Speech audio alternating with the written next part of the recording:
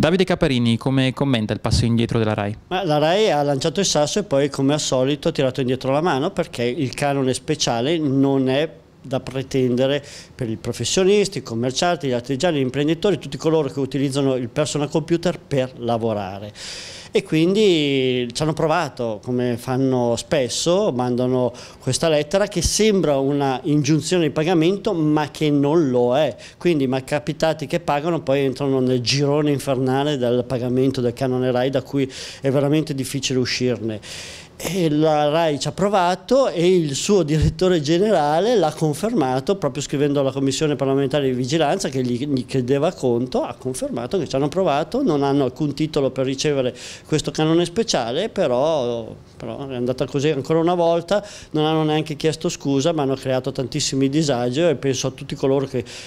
Mm, inconsapevoli hanno pagato e che purtroppo ora si trovano a, a non poter vedersi restituiti i 400 euro che avranno versato. Non hanno chiesto scusa ma anzi hanno criticato i media su come hanno divulgato la notizia. Sì, questo è veramente pazzesco, pazzesco in quanto prima di tutto loro sono media, è,